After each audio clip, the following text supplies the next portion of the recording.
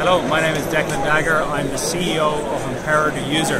Uh, we are a simulation software company specialized in training and assessment.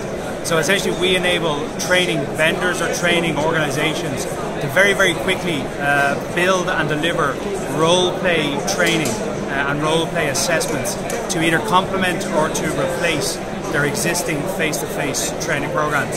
So this is essentially allowing them to deliver massive efficiencies in terms of cost reduction, but also being able to increase the effectiveness and sort of footprint and impact of their training programs because the skills that they deliver on our platform they don't only exist for a, a three day or a two day or a five day program, they exist for a, a long time, uh, a lot further, um, and become embedded within the organization because people can continuously assess themselves and continuously practice to become masters in the, the art of their skill.